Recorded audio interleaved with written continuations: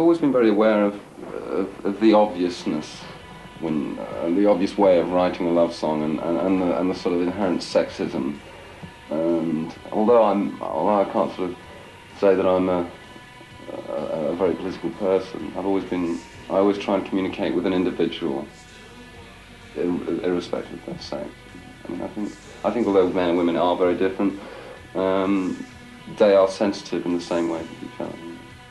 Certainly, when you reach a certain level as an independent band, you can become very complacent, and um, you can actually neglect your audience and just sort of pan- pander to your own, you know, self-indulgence. And I think for us, it's important that we make really good records. It doesn't matter what label it comes out on, just as long as we make good records. That's all that matters.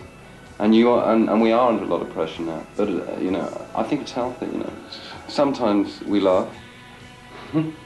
but I mean, I don't know. It's just it's such a serious, it's such a serious thing what we do, and it's such a. I mean, we're exploiting such a serious part of ourselves. You know, I mean, it's very important what we do, and it is, a, and it's it's you know it's part therapeutic part.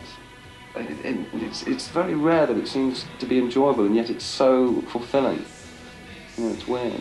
I mean, I don't know, I don't know what it is that we try to release, but you know, it's generally serious.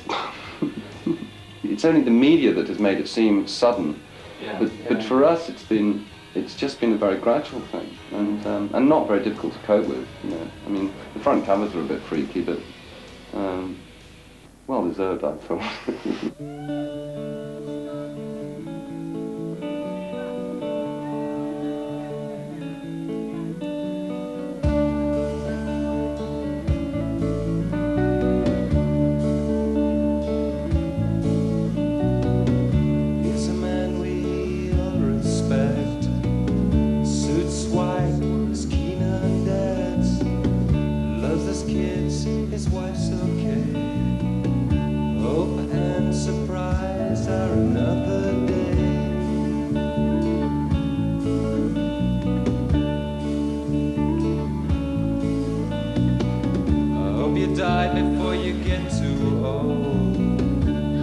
cruel, he.